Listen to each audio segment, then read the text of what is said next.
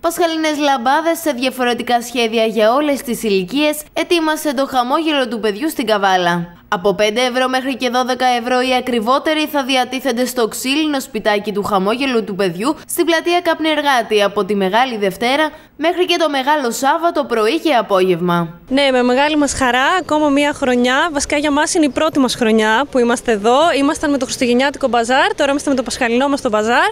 Περιμένουμε τον κόσμο να έρθει να πάρει τις λαμπάδες του.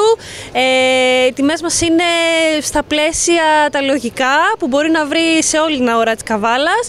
Είμαστε πολύ χαρούμενοι γιατί ε, έχουμε πάρα πολύ μεγάλη ποικιλία.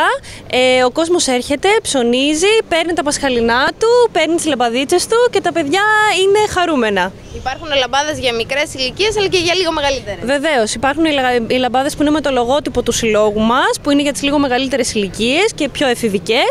Και υπάρχουν οι λαμπάδες που είναι για τους μικρούς μας φίλους, που έχουν πάνω παιχνίδια, μουσικά όργανα, διάφορα μπρελοκάκια. Υπάρχει μεγάλη ποικιλία φέτος. Έχουμε σχολικά είδη που έχουμε σε όλα μας τα μπαζάρ.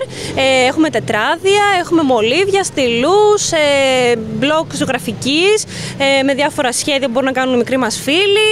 Έχουμε παραμύθια. Η ποικιλία μας είναι μεγάλη. Όλα μας τα έσοδα διατίθονται για, το, για τα σπίτια του συλλόγου μας σε όλη την Ελλάδα. Κυρίως ε, μπορούμε να ε, βοηθάμε με τα έσοδα αυτά και το κέντρο στήριξης στην Καβάλα, ε, που βρίσκεται δίπλα από τον Όσκαρ, ε, τον κινηματογράφο, ε, και το σπίτι μας φυσικά στην Ηρακλήτσα τη Καβάλα.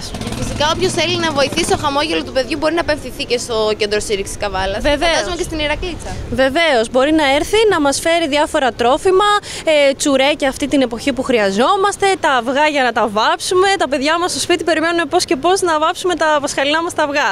Ε, και οτιδήποτε άλλο χρειαστεί, είτε από ρουχισμό, είτε από είδη πρώτη ανάγκη, όπως είναι απορριπαντικά, όπως είναι ε, μορομάντιλα, πάνες που χρειαζόμαστε για τα παιδάκια, ε, μπορεί να τα αφήσει και στο κέντρο στήριξης ε, στην Καβάλα. Τα παιδιά πώς θα περάσουν φέτος το Πάσχα τους; Ε, ελπίζουμε να έχει καλό καιρό. Τη Μεγάλη Πέμπτη να βάψουμε τα πασχαλινά μας κόκκινα αυγά, ε, να πάμε στην εκκλησία μας. Είναι πολύ, το περιμένουν πάρα πολύ. Και ειδικά τώρα στις διακοπές που έχουμε το σχολείο, είμαστε κάθε μέρα έξω.